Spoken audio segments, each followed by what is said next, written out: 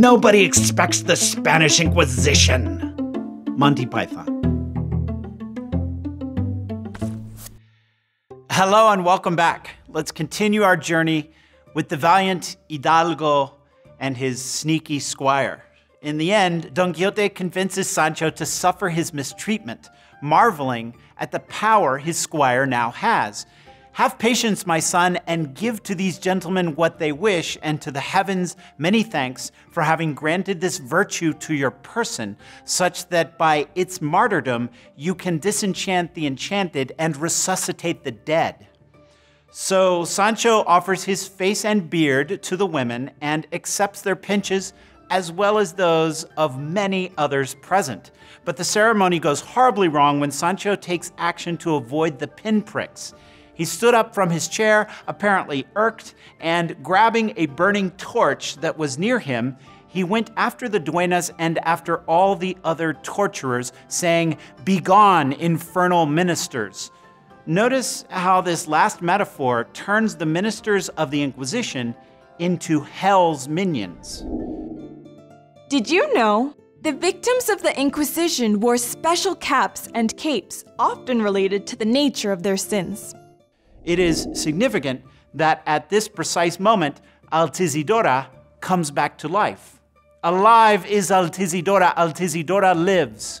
Notice the chiasmus similar to that of the novel of the Curious Impertinent, where Camila surrendered, surrender did Camila. Note also that Don Quixote immediately recognizes that Altisidora's return to life via Sancho's martyrdom means that his squire can also save Dulcinea. As soon as Don Quixote saw Altisidora stir, he threw himself to his knees before Sancho, saying to him, Now is the time, son of my soul, rather than my squire, to give yourself some of the lashes that you are obliged to give for the disenchantment of Dulcinea. Cervantes pushes the feudal relationship to its breaking point. Sancho is no longer just Don Quixote's squire, but rather his own son. Quixotic mission. What is Don Quixote's monomania throughout the second part of the novel? A. To disenchant Dulcinea. B. To return to Toledo. C. To become a shepherd. Correct answer A. To disenchant Dulcinea.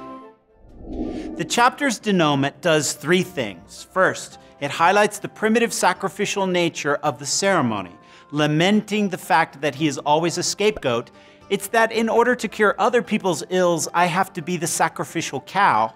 Sancho asks to be thrown into a well. Simply take a giant rock and tie it to my neck and throw me into a well.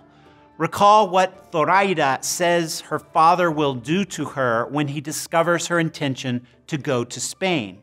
Second, it begs the question of whether or not Sancho is totally innocent. The exiled Morisco Ricote or the shoeless citizens of Micomicon, for example, might find him guilty. Third, the chapter's denouement highlights the textile theme again. Altisidora promises to give Sancho more of her clothes.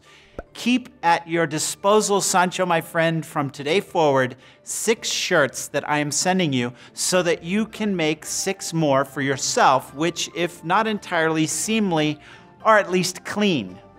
Also, Sancho requests that the Duke and Duchess give him the tunic with flames and the hat with devils, for he wished to take them home with him as a memento and proof of that never before seen adventure.